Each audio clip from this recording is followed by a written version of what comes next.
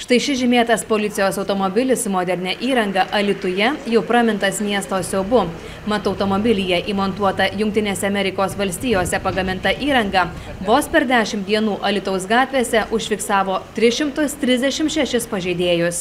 Nauja įranga, labai moderni įranga, kuri fiksuos tiek atvažiuojančius, tiek nuvažiuojančias transporto priemonės, jų greitį, e, ar tai nėra paieškomi automobiliai, ar tai su tais automobiliais dažnai daromi pažeidimai, kokie tai pažeidimai daromi ir iš karto signalizuos e, policijos pareigūnam, kad vieną ar kitą automobilį reikia sustabdyti. O greičio viršytojus e, tai iš karto apdoros ir siūs į bendrą Respublikos duomenų banką, iš kur bus siunčiama informacija jau tiesiogiai pažeidėjim.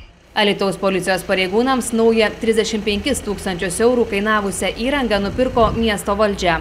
Todėl pusė pričiuptų pažeidėjų sumokėtų baudų keliaus į miesto biudžetą.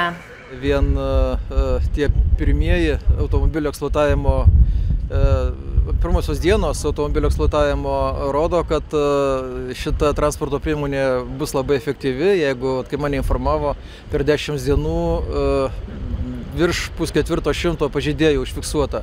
Tai iš tiesų daug ir, ir mm, kelių eismo taisyklių pažeidėjai pajaus e, tą įstatymo ranką ir aš manau, kad jie pradės atidžiau e, na, eksploatuoti savo automobilius ir, ir laikytis e, eismo taisyklių reikalavimų. Alitiškiai džiaugiasi, kad moderni įranga įmontuota žymėtame policijos pareigūnų automobilyje, todėl greičio pedalą laiku galima atleisti.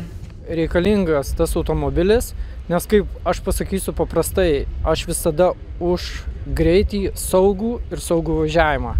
Kas liečia automobiliai, nu iš tikrųjų yra vietų, kur, kaip sakyt, įsireiškim, labai laksto, jaunimas ypatingai ten laksto. Aišku, kad reikia, nes vis tiek ne visi paiso saugaus eismo taisyklių. Alitaus valdžia po sėkmingo pirkinio planuoja įsigyti dar bent kelis vienetus kelių erelius tramdančios įrangos.